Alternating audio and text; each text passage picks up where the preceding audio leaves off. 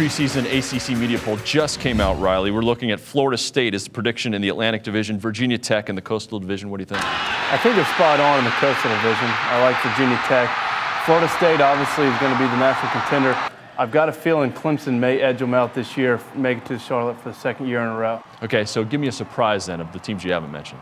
Surprise is NC State, mainly because of their defense. I think their defense is in place. They've got an explosive offense. They get surprise some people, and they play very well at home. I'm looking at the media picks right now for Player of the Year. Number one, Sammy Watkins would edge out Logan Thomas. What do you think of that? I'm going to have to disagree.